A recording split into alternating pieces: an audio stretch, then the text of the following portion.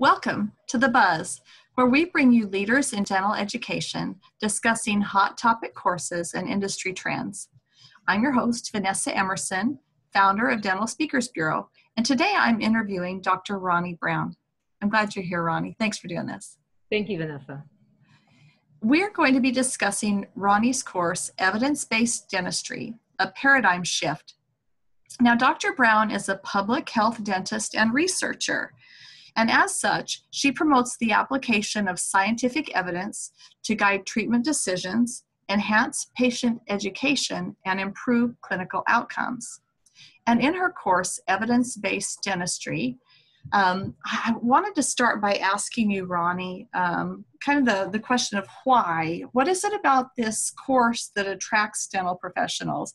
What's happening in their life that this course can help uh, resolve? Well, Vanessa, I think that I, like many dental professionals, struggle with trying to keep up with the abundance of information that comes our way every single day, whether it's a journal, a webinar, a conference, a blog. And it's overwhelming at times.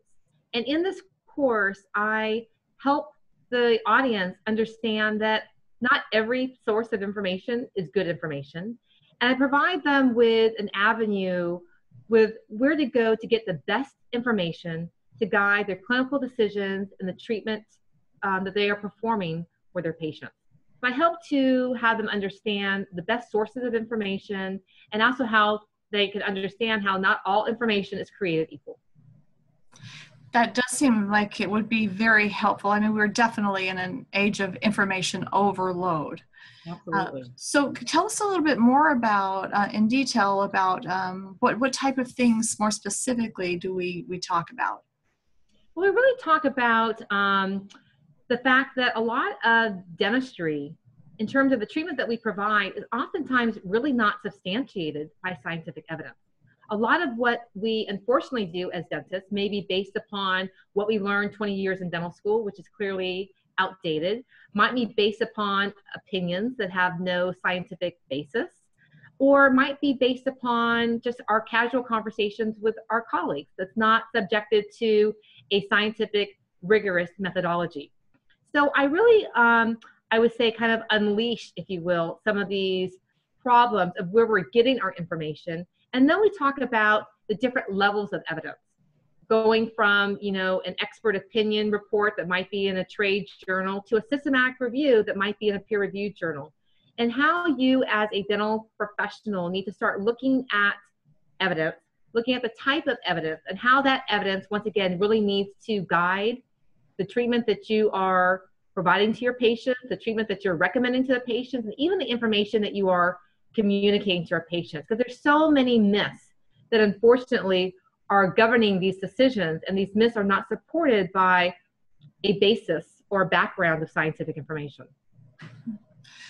So it sounds like a lot of um, great information and a lot of guidance. Um, and how do you uh, do you do anything special or what is your approach on keeping your attendee engaged is there something um, do what do you do as far as interaction or is there is there something along those lines that helps um, it not become them become bogged down in the detail well, this is actually a really fun course, and I really always try to make all of my courses as interactive as possible.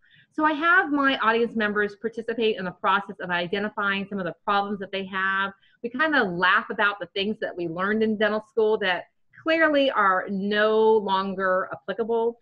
We kind of even laugh about some of the sources of information that we have utilized um, in the past. But the other way that's interactive is I really guide our audience in taking a look at a number of websites like PubMed and the Cochrane Library, and we go online in a very interactive way and identify really good sources of information. But I think the funnest part of this class is we get to really kind of challenge some of our old beliefs and our old dogmas, kind of look at them and quite honestly, kind of laugh about them as well. Mm. You know, I could um, give an unsolicited testimonial, which I think I will give here because I actually sat in on a portion of this course recently at a state dental meeting. And I have to say, I, have talked with so many meeting planners and speakers over the years. We all know it's important to have humor and interaction and something to keep it light, especially in a topic that could be dry or you know like accounting or coding or like compliance or there's so there's topics out there that can feel kind of heavy for attendees. I have to say that um, there was a lot of laughter. There was um, it just really moved along and i know you did a real special something that with this group that might be a, something you talked privately with the planner to keep it a surprise for attendees so i won't say but that they just loved it and raved about it. So um, unsolicited testimony testimonial and I just want to give my um, congratulations for being able to bring such an important topic and do it in a way that is really easy for the attendee to grab a hold of and, um, and work with and, and put into use when they get back to the office.